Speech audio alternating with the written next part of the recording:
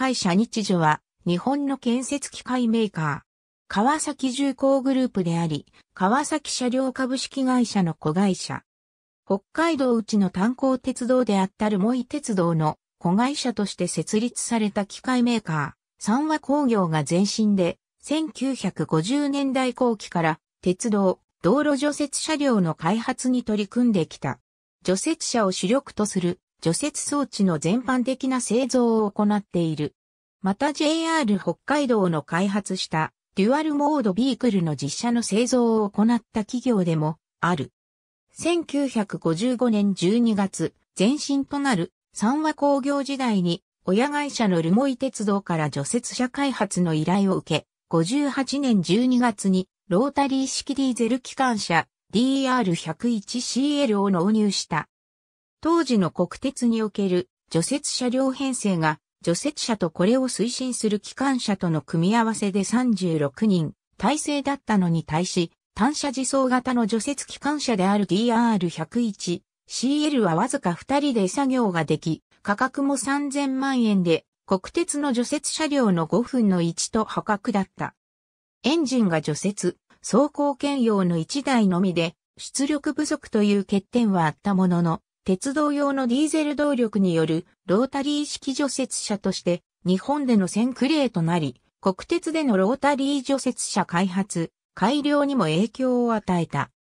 この除雪車の功績を称えるため運輸省は運輸大臣賞をルモイ鉄道社長の田淵助六に授与した。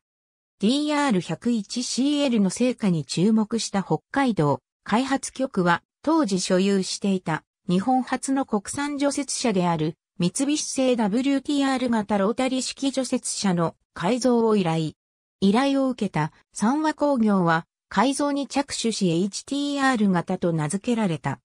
1959年12月、開発局建設機械工作所で他メーカーの除雪車による性能試験で HTR 型は他を圧倒し、性能の高さを裏付けた。これを受けて、開発局は三和工業に除雪専用車の開発を打診し、三和工業は札幌式薬に新たな工場を建て62年3月に HTR2 型を完成させた。同年4月、三和工業は社名を日本除雪機製作所と改めた。1960年代に入ると、国道の除雪延長は飛躍的に伸び、それに伴い除雪車の大型化や馬力の強化など、性能の向上が求められた。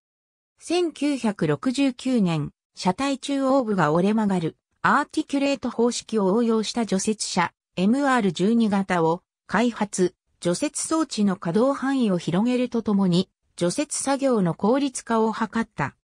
1993年、北海道開発局建設機械工作所と共同開発で最高速度70キロ、除雪速度20キロの HTR411S を開発した。これにより、高速道路における通行規制をすることなく、高速道路を通行できるようになり、除雪スピードを向上させることに貢献した。